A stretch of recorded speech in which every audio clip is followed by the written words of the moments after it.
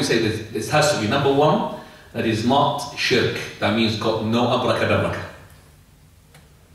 Abracadabra, open sesame, all of those I can't use.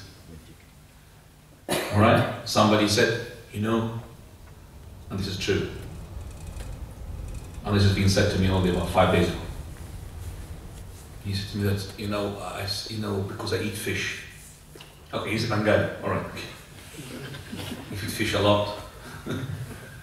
and sometimes the bone sticks here, you know. And you know to go to the NHS, it takes time, and you know, this is not priority, hours of waiting. But I phoned this woman, and on the phone she says something, I don't know what she says. And then after that she told me, go, I feel it's gone. Halal haram. I said, MashaAllah. I said she should go to the NHS.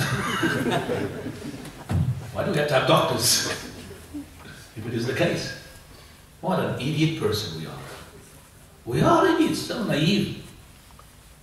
Isn't that? Uh, uh, so did she tell you what she, she said? No. It's a secret that she took it from her mother. I said, no, it's witchcraft.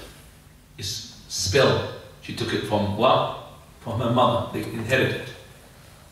So said, next time, shall I ask to say what about it? No, no next time, don't phone and phone the doctor. It's not right. See what she's doing is not right.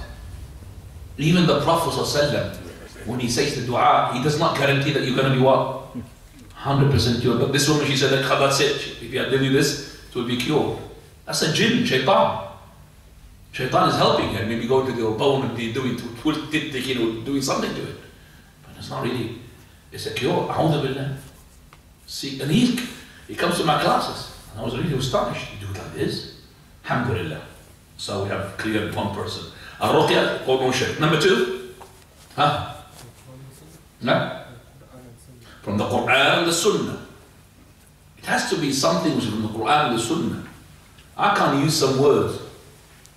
So brother, you come to me and I give you a gun. I start singing for you.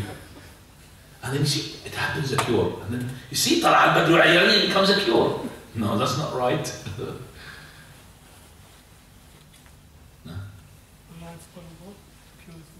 Hmm? Yes. The third condition that is to believe that the ruqya is beneficial by the permission of Allah. Not by the person who's saying it. It's by the permission of Allah.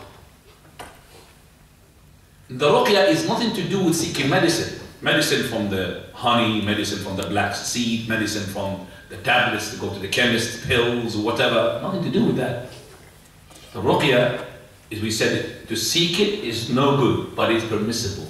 If somebody said it on you without you saying it, without asking, no problem. But you go to the person, please, blow onto me, make on me, no good. Because you're going to be outside the 70,000. But somebody said it to you without you asking, no problem. As for going for the doctors, that's nothing to do with the ruqya. Prophet said, Ya ibad Allah tadawi. Oh, slaves of Allah, seek medicine ما جعل الله من داء إلا وله دواء. Not, not a single disease that Allah had created. Allah created for it what? The remedy, the cure. عرفه من عرفه وجهله من جهله. Some of the people knew it. Some of the people what? Did not know it. Before, we had lots of diseases, we didn't have a cure for it. Now we do have a cure for it. Malaria, cholera, and all of that. Very easy now these days. And now we're going to have the AIDS. You're going to have a cure for it, but Allah will strike them with the disease. Disease after disease, but they will have it. There's to see, except for one that is death. There's no